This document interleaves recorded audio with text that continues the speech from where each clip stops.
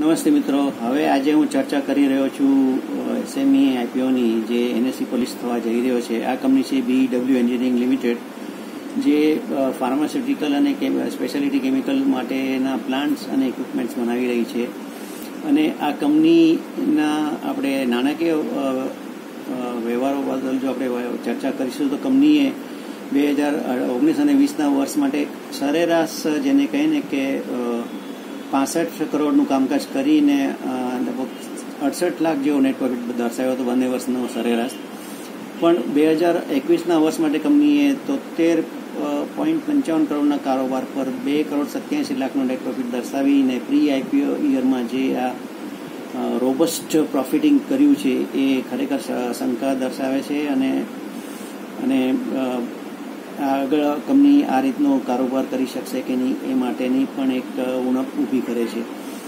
બીજું જોવા જઈએ તો આ કંપનીનો ભાવ જે છે અઠ્ઠાવન રૂપિયા પ્રતિ શેરનો, એ આ સારા એવા પ્રદર્શનને ગણતરીમાં લેતા બે હજાર એકવીસના નાણાકીય વર્ષના, લગભગ પાંચ પોઈન્ટ એકવીસના પીઈએ હોઈને આ ઇસ્યુનો ભાવ પણ આકર્ષક દેખાય છે. પણ કંપની આ રીતનું પ્રદર્શન આગળ ચાલુ રાખશે, રાખી શકશે કે કેમ એ એક મોટી વિચારણીય બાબત છે. બીજી વસ્તુ તો કે આ કંપનીની ઇક્વિટી જે છે એ ઇસ્યુ પછી પણ લગભગ બે કરોડ છ્યાસી લાખ જેવી હોય, બે કરોડ અઠ્ઠાવન લાખ સોરી એ જેટલી હોય ને અને મેઇન રોડ પર માઇગ્રેટ થવા માટે ઘણો જ લાંબો સમય લાગી શકે એમ છે. તો મારા હિસાબે આપની પાસે ફાજલ નાણાં પડ્યા હોય, જોખમ લેવાનું તૈયાર હો, લાંબો, લાંબા ગાળા માટે બની રહેવા તૈયાર હો, તો આ આકર્ષક જણાતા પ્રાઇસવાળા ઇસ્યુમાં રોકાણ કરવાનો વિચારશો.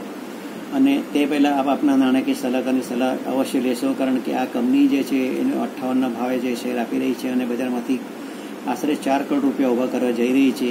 એ ભલે અત્યારે એનો ભાવ આકર્ષક દેખાતો હોય, પાંચ પોઈન્ટ એકવીસના પીઈએ પણ આગળના વર્ષોના કારોબારથી આપણે જો વિચારણા કરીશું, તો એ નક્કી જ લગભગ પચીસથી ઉપરના પીઈએ થશે એવો મારો અંદાજ છે.